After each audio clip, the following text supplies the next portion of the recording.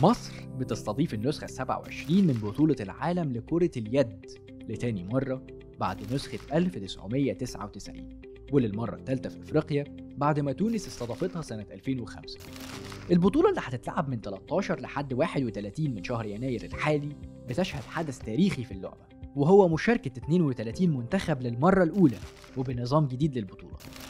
اتلعبت أول نسخة سنة 1938 في ألمانيا وكانت بمشاركة أربع دول فقط.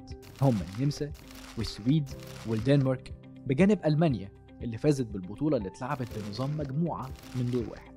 وبعد 16 سنة اتلعبت النسخة الثانية في السويد وزاد عدد المشاركين لست فرق اتقسموا على مجموعتين ومتصدر كل مجموعة صعد للنهائي وفازت باللقب وقتها السويد.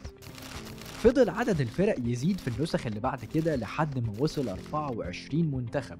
في النسخة 14 من البطولة واللي اتلعبت في أيسلندا سنة 1995 واستمر العدد ده لآخر نسخة سنة 2019 لكن بطولة مصر 2021 بتشهد نظام جديد بعد وصول عدد المشاركين لرقم قياسي وهو 32 منتخب واللي اتقسموا على 8 مجموعات كل مجموعة أربع فرق.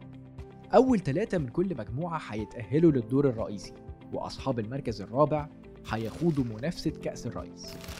الدور الرئيسي هيتكون من أربع مجموعات. كل مجموعة منهم فيها ست فرق من المتأهلين وهيصعدوا بنقاطهم اللي خدوها من الفرق المتأهلة. إزاي؟ يعني مثلا مصر في المجموعة السابعة مع السويد والتشيك وتشيلي. بافتراض إن مصر فازت بكل ماتشاتها هتكون جمعت ست نقط. وبافتراض صعد معاها السويد بالفوز في الماتشين وتشيلي بالفوز على التشيك يبقى مصر تتأهل للدور الرئيسي بأربع نقط. بسبب فوزها على السويد وتشيلي المتأهلين معاها وهكذا. وينضم ثلاثي المجموعة لثلاثي المجموعة الثامنة. بعد ما بيتم تقسيم ال 24 فريق المتأهلين على أربع مجموعات بنقطهم هيلعب كل فريق مع الثلاث منتخبات اللي مواجههاش قبل كده. وفي النهاية هيتأهل أول وتاني كل مجموعة إلى ربع النهائي. لو وصلت معانا لدور ربع النهائي ولسه فاهم فأنت أكيد وصلت لبر الأمان لأن من ربع النهائي ولحد آخر البطولة هتتلعب بنظام خروج المغلوب عادي. وأخيرا قبل ما يخلص الفيديو وجب التنويه إن البطولة هتتلعب على أربع صالات يشرفوا الحقيقة. صالة استاد القاهرة الرئيسية واللي هتستضيف مجموعة مصر طبعا وصالة 6 أكتوبر الجديدة وصالة برج العرب وصالة العاصمة الإدارية الجديدة.